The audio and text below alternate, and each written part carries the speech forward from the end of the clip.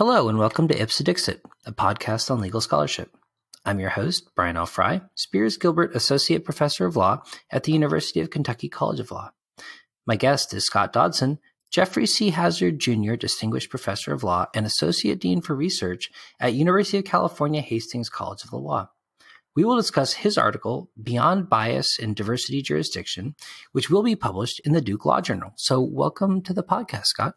Thank you very much, Brian. It's a pleasure to be here. Yeah, great. So, as a recovering civil procedure professor, I really enjoyed reading your paper because it grappled with a lot of things about diversity jurisdiction that have been bothering me for years. And I'm really excited to, share this with whatever fraction of the listening audience is as excited as I am and obviously you are about civil procedure related issues.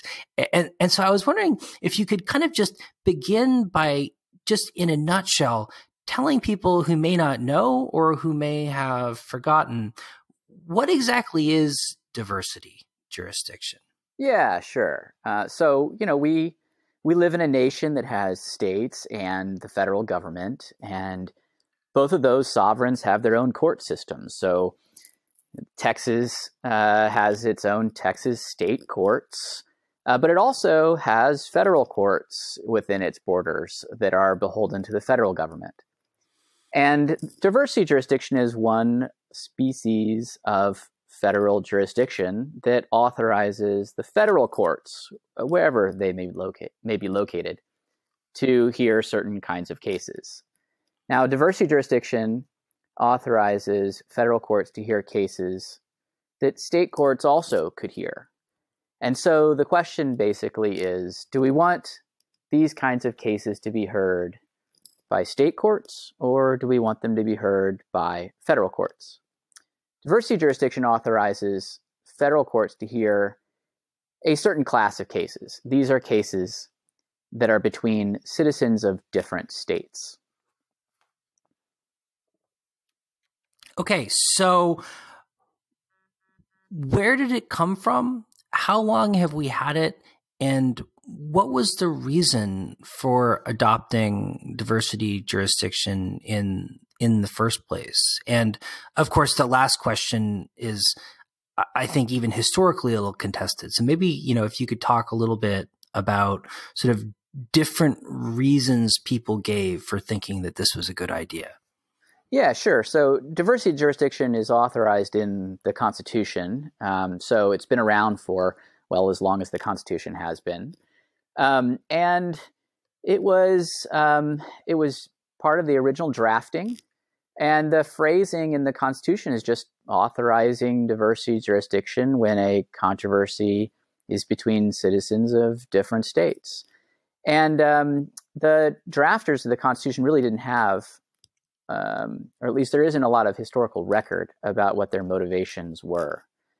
Uh, but the ratification debates really sort of brought this into the fore. And the people who were opposed to the Constitution really didn't like the diversity clause. The diversity clause is the clause in the Constitution that extends diversity jurisdiction. And uh, people like Patrick Henry and George Mason in Virginia, they all attacked diversity jurisdiction vehemently because they worried that diversity jurisdiction would essentially destroy the state courts. That by giving all these cases to the federal courts instead of the state courts, that the state courts would essentially have nothing to do and would cease to exist. And so, being good states' right rightists, they didn't really like uh, the idea of diversity jurisdiction. And they pointed out a few, um, uh, rightly so, a few reasons why a diversity jurisdiction might actually be a problem. So state courts are sort of peppered all throughout all the states, whereas federal courts are fewer and farther between. And so litigants who might have to um, resolve their dispute in a federal court might have to travel quite a ways in order to do so, whereas uh, a state court might be right next door. And so there were some additional costs involved. The people who really wanted diversity jurisdiction at the time were the Federalists, and they defended the grant of diversity jurisdiction on what I call the bias rationale. These were people like James Madison and Alexander Hamilton and John Marshall and James Wilson. Uh, they were staunch defenders of the Constitution, so they were going to be staunch defenders of diversity jurisdiction too. Uh, and they defended it based on the idea that there ought to be a neutral forum, a neutral federal forum for resolving disputes between citizens of different states because they feared that the state court might be biased in favor of an in state litigant and against an out of state litigant. Now, they defended diversity jurisdiction on these grounds, but they defended it kind of tepidly. And they were highly deferential to the state courts, and they didn't mean to impugn the integrity of the state courts. Um, so they defended it tepidly, but they still adhered to that bias rationale in defending it that way. And so diversity jurisdiction was ultimately enacted as part of the Constitution or enshrined in the Constitution. And it sort of carried that policy, that bias rationale with it ever since. So, so that was a, a part of your paper that I thought was was really interesting because I I didn't realize that the sort of federalist defense of diversity jurisdiction was kind of so diffident in the moment. And it it seems oddly kind of inconsistent with the fact that diversity jurisdiction seems to have been so important in the early history of the federal courts and also in sort of the really early history of some of the cases that came before the Supreme Court. And I'm, I'm, thinking in in particular of like cases like Ware v. Hylton about um, you know the sequestration clauses and whatnot, and this sense that like foreign creditors and especially like English and Scottish creditors weren't going to get a fair shake in United States courts. Right. And so div- the diversity clause includes both domestic diversity jurisdictions, so citizens between different citizens from different states, and also alienage jurisdiction, which is a dispute between a U.S. citizen and a foreign national. And of course, creditor debtor relations uh, were a huge issue in the early republic. They had huge economic, social, and political issue, frankly. Um, and it just happened that many of those creditor debtor relationships were interstate or sometimes, you know, um, um, so, uh, sometimes you know national, uh, international, and so um, it's it's no surprise that that creditor debtor creditor debtor relationship and the importance of it became a part of diversity jurisdiction too. Um, some have theorized that that was the main reason for the Federalists uh, to defend diversity jurisdiction is that they wanted a forum that would uh, tend to the needs of creditors, including foreign creditors. And they thought that the courts of the national government would be more sensitive to those creditor needs than the courts of state governments uh, when they were likely to be resolving disputes involving in state debtors. Indeed, and and it seems to me, I mean, like one of the odd things about federal jurisdiction is that I, I think today it's sort of so easy to colloquially think of it as sort of federal courts deciding national federal law related questions, but actually the kind of federal question jurisdiction wasn't created for a long time after diversity jurisdiction was. And as you point out in your paper, it was such an important part of what the federal courts were doing for a long period of time. You know, to what extent do you think that this sort of bias rationale, both kind of out of state bias or sort of foreign citizen bias, was really salient and meaningful in the early republic as opposed to um, sort of changes in the role of the federal judiciary throughout American history as sort of America's role and the kind of national consciousness developed over time. Right. So um, the the Federalists and the Anti-Federalists sort of reached this compromise in the ratification debates, where uh, they agreed that the diversity clause wouldn't extend diversity jurisdiction to the federal courts as a matter of course, but rather they sort of leave it up to Congress to do so.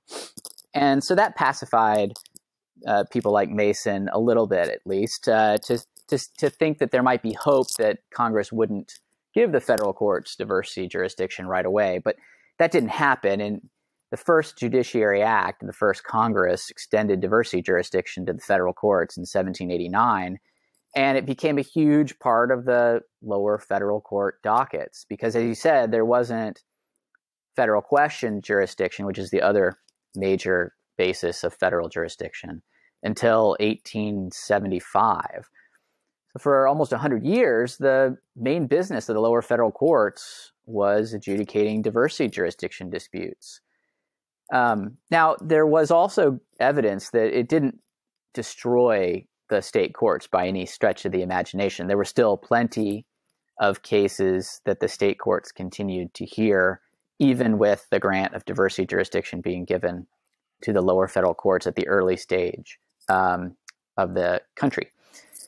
Uh, and the evidence that we have about whether the bias rationale was really the motivating factor um, or whether the diversity jurisdiction did any work in alleviating any kind of bias. The empirical evidence that we have of what happened in the early stage of the republic is is almost non-existent. Mm. So we don't have a lot of evidence um, of how diversity jurisdiction was working in terms of the bias rationale back then. We do have the Supreme Court's continued invocation of the bias rationale um, however. And so even from the Marshall Court in the early 1800s, uh, the court repeatedly adhered to the bias rationale in its interpretation of the grant of diversity jurisdiction. And that's really where the bias rationale became entrenched, is in the court opinions. I mean, it, it, it's certainly my sense that historically speaking, there was an evolution, a kind of ideological evolution from the concept of a nation composed of discrete like independently sovereign states to a nation with states subsumed within it. Uh, I mean, to what extent do you think that that shift, to the extent that and as it happened, might have affected the sort of salience and legitimacy of sort of the original conception of the bias rationale that you discuss. Yeah, I mean, I think the bias rationale had a lot of. Um, so I, I, think the Federalists were legitimately concerned um, that lodging inter- interstate disputes in state courts could be detrimental to national identity and sort of the national expansion of commerce. Um, it was particularly important for commercial relationships uh, in um, in the late 1800s, and after the Civil War, when um, when the federal government became much more powerful, I think that there was a renewed push to um, scale back diversity jurisdiction, in particular because I think a lot of the progressives of the progressive era thought that the federal courts were unfairly advantaging business interests and corporate interests uh, over individuals, and that diversity jurisdiction was being gamed uh, by those particular parties.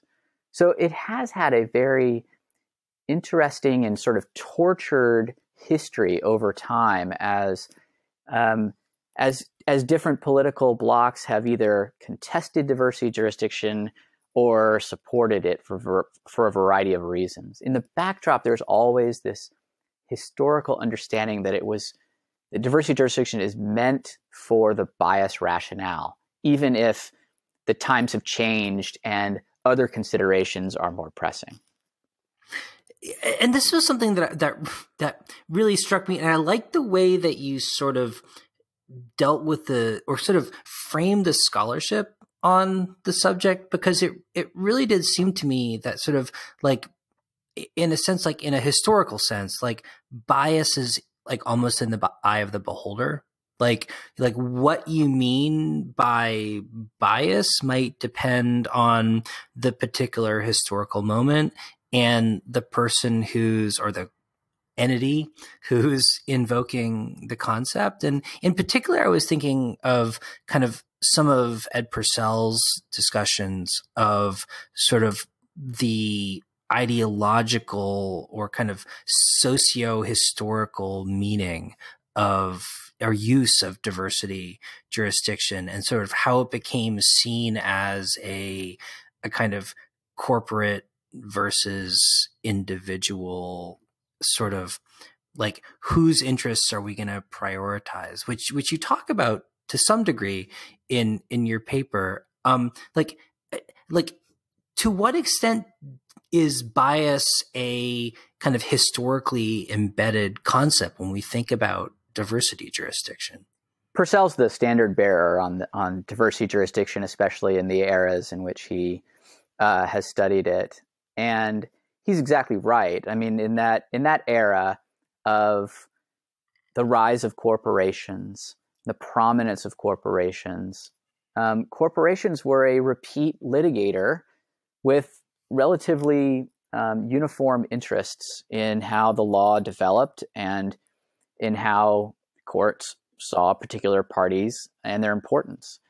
And the corporates, the corporate um, interests and um, corporations individually tended to favor diversity jurisdiction not because of any um, out of state bias or in state bias, but rather because of a corporate bias. Um, and it was a bias not against corporations in state court as much as it was a bias in favor of corporations in federal court. And uh, that is a fascinating history that's um, uh, he makes a very persuasive argument about it. And it really helps illuminate the role that diversity jurisdiction has played over time. It plays a role in my paper just because it's important to recognize that the out of state bias rationale has really morphed in different ways towards something that is not an out of state bias uh, lodestar, but rather it could be a bias in, uh, uh, uh, based on other kinds of status. It could be a bias of anti-rural. Uh, it could be an anti-rural bias or an anti-urban bias, or it could be a political bias.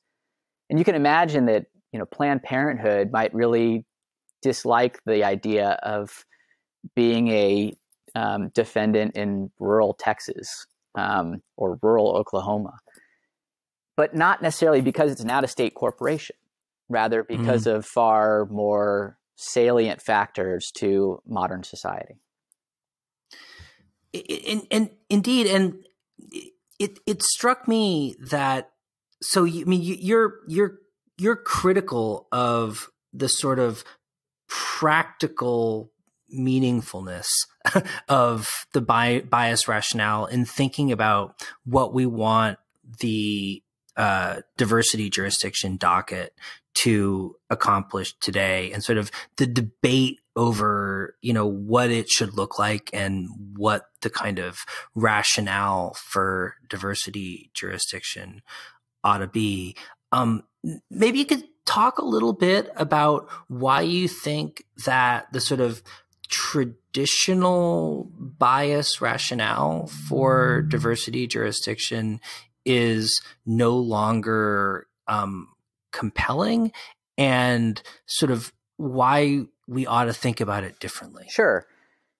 So I think that there are a number. So you're right. I, I stake out the position that the bias rationale alone is woefully insufficient to justify diversity jurisdiction today. And there's really I go through five reasons. One is the first is that like even um, even the perception of out of state bias really doesn't exist on a on a wide scale. It, it there is some evidence, survey evidence of attorneys suggests the perception of out of state bias of state courts in some isolated pockets that tend to be concentrated in the South. Um, but it's it's localized and it's fairly sporadic, and it can't um, it doesn't provide evidence that there is widespread um, perception of out of state bias in state courts. So that's one reason. The, a second reason is that even where there is a perception of out of state bias, it doesn't seem to be a particularly strong motivating factor in avoiding state courts and invoking diversity jurisdiction. In fact, there was a study that showed that of the cases that are filed in federal court on the basis of diversity jurisdiction, about half of them are filed by in-state plaintiffs who who ought to have no fear of out-of-state mm-hmm. bias in state courts. They they ought to prefer state courts if there were out-of-state bias in state courts. Uh, and um, of the survey evidence, the uh, the numbers of uh, the percentages of attorneys who say that uh, fear of out-of-state bias is a motivating factor in selecting federal court is very small. It's like twelve percent uh, or something like that. It turns out that there are many other factors that attorneys care much more about when invoking federal jurisdiction. It could be, you know, the familiarity of the procedures involved in federal court. It could be the convenience of federal court. Uh, it could be the inconvenience of federal court to the other party. Um, there are lots, it could be other kinds of biases like anti corporate biases or things like that, but there are lots of other uh, reasons why attorneys will invoke diversity jurisdiction that have just nothing to do with out of state bias, even when they perceive that there might be out of state bias. Yeah, it was. It, as an IP person, it really struck me that like one of the most kind of high profile examples of court bias in recent years is actually a federal court, you know, the Eastern District of Texas, known for its, I'll, I'll say perceived bias against patent defendants, right? It's sort of like if the concern is, you know, preventing bias, it doesn't seem like uh, diversity jurisdiction worked particularly well, or rather, federal courts were particularly effective at preventing bias in in cases like that one. So one wonders, like, to what extent the kind of the structural state federal distinction is really all that relevant to that particular issue, given this sort of much more kind of national consciousness that we have today. Well, that's right, and and so even when there is some perception of out of state bias, and that would motivate um, a party to avoid state court, there's no guarantee that federal court will be any more neutral um, on that on that score. I mean, federal judges often come from the same political or social circles as state judges do, and some were even former state judges. Um, and so there are examples of federal courts being, um, you know, biased in similar kinds of ways as state courts. And so the idea that diversity jurisdiction provides a neutrality is itself a questionable uh, proposition. So, one of the things I, or rather, the core thing that I think is really interesting about your paper is that you suggest that, you know, even in the absence of an out of state bias rationale, there are still reasons to think that jury, jur, diversity jurisdiction can do kind of efficient and useful things. Um, so maybe, you know, could you talk a little bit about sort of why you think diversity jurisdiction is still a good idea, even if we don't think that the problem that it was arguably designed to solve is really a problem we need to worry about anymore. Yeah. So the, the main the main thrust of the of the paper is to try to shift away from the bias rationale as the focal point of debates about diversity jurisdiction, and that we we really ought. To, I mean, diversity jurisdiction undeniably has costs, and those are substantial. Um, it's it's the lodging in federal court of a case involving a state law claim, which deprives the state courts of their authority to adjudicate those kinds of claims, and um, it distracts federal courts from the uh, federal question cases that they might need to devote their resources to, and which are properly in federal court. Diversity jurisdiction has all kinds of other ancillary doctrines that create uh, logistical costs, like Erie questions or joinder issues or abstention doctrines.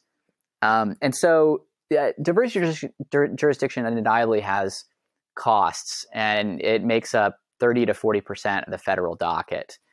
Um, so there might be really good reasons to scale it back, but I just think that we ought to have that conversation about those costs being balanced against other benefits besides alleviation of out of state bias. And some of those benefits include the alleviation of other kinds of biases or the benefits of procedural uniformity because the procedure is the same in federal court no matter where you are, or the ability to transfer the case from one federal court to another federal court across state lines when doing so would be to the convenience of the parties.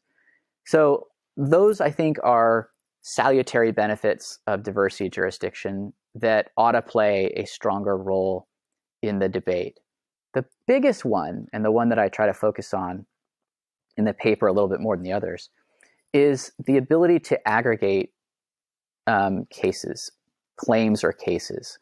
And multi state aggregation has some great benefits to it.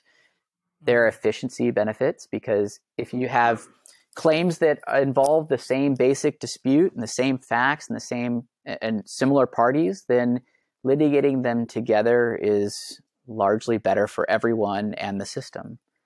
Um, it's also fairer because then you don't have different courts reaching different uh, conclusions about what happened or what the liability is or what the damages should be. Instead, you have just the same court doing it all.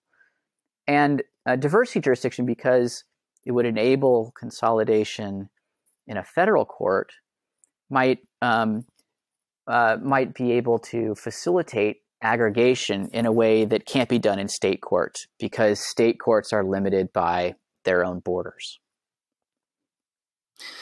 Yeah, and and, and I mean, and I and I have to say, I mean, I found the sort of class and aggregation based efficiency arguments that you made really compelling on sort of a practical standpoint. I mean, it just makes so much more sense. And it's, it seems like in fact how people actually want to litigate these kinds of kind of multi-state, multi-party uh, litigations. I, I also wondered about like expertise of the courts and maybe even like dialogue between federal and state courts about some of these these questions i mean in the sense that like you know as you as you point out in your paper like federal decisions on state law in under their diversity jurisdiction aren't precedential but it, it seems like at least state courts like pay attention to them and that there's sort of a back and forth between the two courts. And, and i can't help but wonder whether there might not be some value there as well. Yeah i think there is. Um, you know, Bob Schapiro at Emory has written quite a bit about sort of dialogic federalism and the idea is that having different courts um, interject or voice opinions on particular areas of the law just enhances the richness of the law and, and perhaps leads to better decision making overall. And there is some argument that diversity jurisdiction uh, can play a role in that salutary process. I do think that supplemental jurisdiction, which does isn't going away, which is the joinder of a state claim along with a federal claim in federal court, that also gives federal courts the ability to offer their voice on issues of state law. Um, but diversity jurisdiction undoubtedly expands that voice. Uh, one of the big issues is just whether it's expanding in a way that's um, you know you may maybe you get diminished um, utility from an expanded voice. I I don't know the answer to that, but it's certainly a, a an argument. So one of the things I thought was maybe potentially controversial in your article was I got the sense that in some ways you're you, you might even be advocating a sort of liberalization of diversity jurisdiction in in some circumstances which seems to push back against the idea that you suggest elsewhere of like certain factions political factions moving to cabinet to some degree. So what do you see as the benefits of liberalization and where do you think that that would be most productive? Yeah so i think that um, that my paper would be useful for restraining diversity jurisdiction in some contexts especially those in which the costs of diversity jurisdiction are quite high and the benefits that i've identified are just super low but it might justify expanding diversity jurisdiction in other contexts. And one, an easy one to think about is just facilitating multi district litigation. So, multi district litigation is a phenomenon of federal court. It's the ability to take a whole bunch of cases from across the country. They all have to be in federal court, but then consolidate them into one court. And MDL, that's the acronym, has really kind of taken off in in recent years, especially with mm-hmm. medical device um, or pharmaceutical cases, in which uh, consumers from all over the country are affected in approximately the same way. They all sue essentially, essentially the same defendant, and if they can all get into federal court, then they all can join their cases together, consolidate their cases together before a single judge and have all the economies of scale and efficiencies that come with aggregating those issues uh, into one.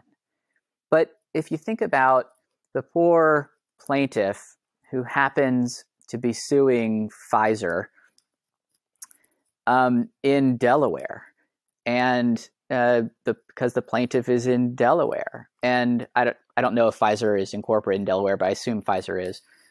Um, and, and, that and that case uh, can't be heard in federal court.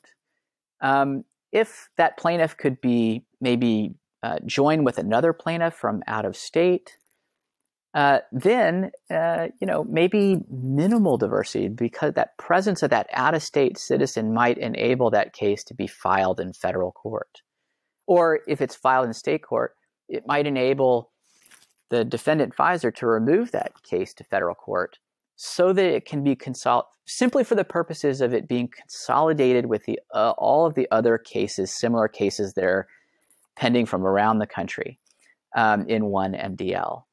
Um, it would just it's just a shame that some individual cases can't be brought or taken to federal court and thereby consolidated with the MDL simply because of limits on diversity jurisdiction. So I think that you know thinking about the value of aggregation might be a good way to think about reforming diversity jurisdiction in certain ways so that we could allow those aggregation benefits to inure to those uh, cases that otherwise wouldn't be able to take advantage of them simply because they are in a particular state. Yeah. So, Scott, in, in closing, one of the one of the other things that struck me about your paper, which had honestly I had no idea that this was the case, was like how frequently diversity jurisdiction has been the subject of proposed legislation in Congress in ways that seem like they were largely unsuccessful in getting passed and that there was limited sort of dialogue in terms of what was trying to be accomplished. And to what extent do you think that this alternative frame for talking about what we want diversity jurisdiction to accomplish might help uh, generate a more productive kind of legislative conversation? Yeah, so um, because the debate about diversity jurisdiction has been so robust, there have naturally been proposals um, in Congress to limit it, mostly to limit it. Uh, and those proposals have almost uniformly failed um, in Congress. I think partly that's because there's a strong corporate lobby that still likes diversity jurisdiction, and um, it's easier to kill bills than to see them passed. Uh, but there have been a few instances in which diversity bills have passed, and they have they have actually tended to expand diversity jurisdiction. So one of the most infamous is the Class Action Fairness Act of 2005, in which Congress uh, passed a passed a bill that expanded diversity jurisdiction over certain kinds of class actions.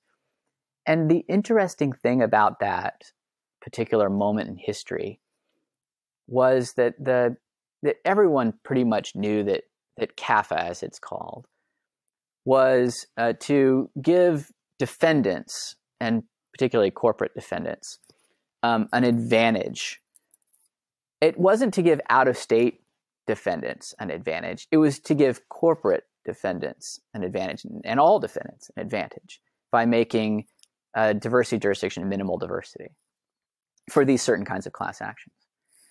And um, nevertheless, the proponents of CAFA and a lot of the legislative history still tries to adhere to the bias rationale of diversity jurisdiction when it just really isn't about any kind of state court bias against out of state uh, uh, parties. So, my hope is that the paper, by encouraging debaters to move away from the bias rationale, will in fact free the debate to be on its own merits. You, you can debate CAFA, and there a lot of people, many people have, and there are strong opinions on both sides.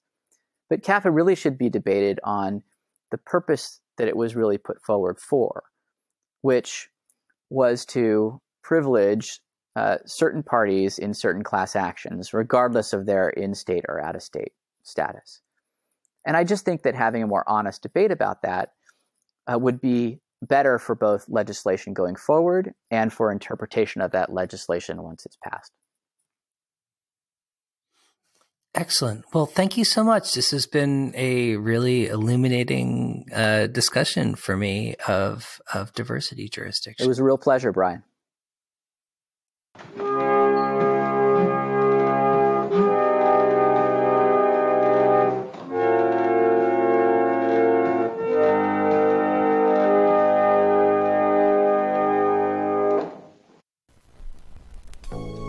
Hello, this is Beverly Garland. The Federal Trade Commission asks you to look beyond the smiling faces and super promises because the FTC knows that some advertising can be misleading and deceptive. So don't believe everything you see or hear. Beware of extravagant promises and unsupported claims. Check it out before you buy. Shop wisely, you'll save money. This message is brought to you by the Federal Trade Commission, Washington, D.C.